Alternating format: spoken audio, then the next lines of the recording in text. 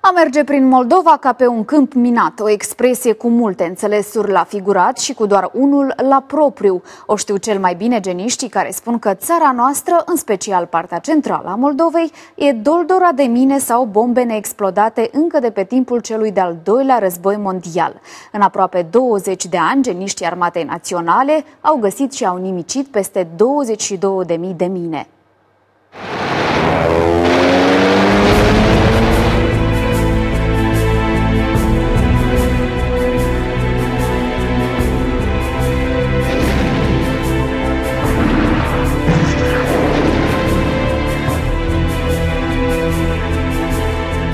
Cel de-al doilea război mondial nu a trecut fără victime și distrugeri și în Moldova. În urma operațiunilor militare, bombele și minele au fost practic semănate pe pământul nostru. Doar că nu roada au dat ele, ci dezastru. Unele au explodat până în 45, altele au fost detonate deja pe timp de pace, dar nu toate. Și astăzi se mai aud bubuituri pe poligoane unde sunt distruse bombele găsite de căutătorii de comori prin păduri sau de țărani pe câmpuri.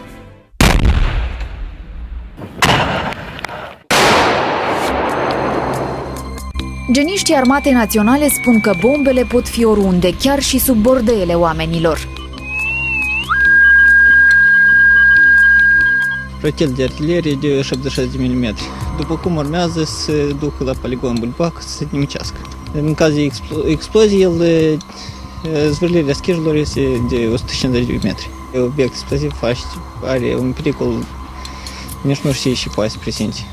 Astfel, expresia în Moldova mergi ca pe un câmp minat este mai actuală ca niciodată, mai ales în raionul Orhei.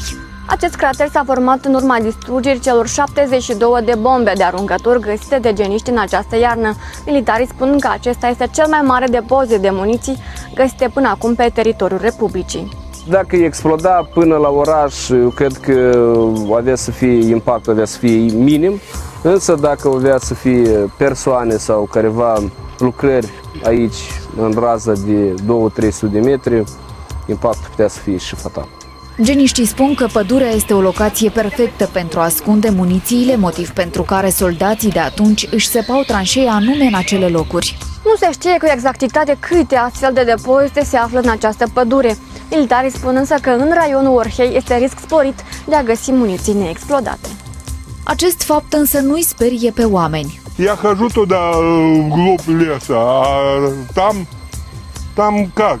Там воронки бывшие, видать, бомба лупанула. А что бояться? Чего бояться? Кого бояться? У меня уже фрика, знаешь, когда был? 20, ровно 26 лет назад. Când s-a căsătorit, glumește bărbatul în afara camerelor de luat vederi. Это в земле, так что нечего бояться.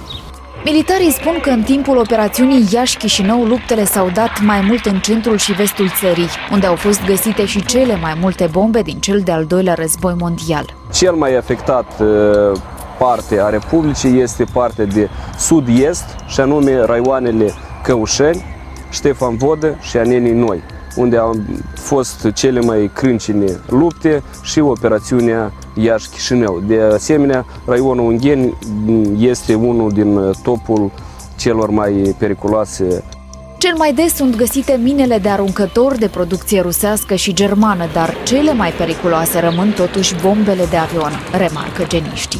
Anul trecut au fost depistate peste 20 de bombe de avion ne dăm seama că bombele de avion sunt unele dintre cele mai periculoase, deoarece și mecanismul de armare a lor au uh, cel puțin două focoase. De la începutul anului, geniștii au nimicit peste 100 de bombe. Ei spun că orice obiect explozibil prezintă un pericol, indiferent dacă acesta este lansat sau nu. Astfel, în cazul în care ați găsit o bombă, nu trebuie să o atingeți, ci să chemați imediat poliția și neapărat marcați locul se poate pur și simplu pe o bucată de hârtie descris.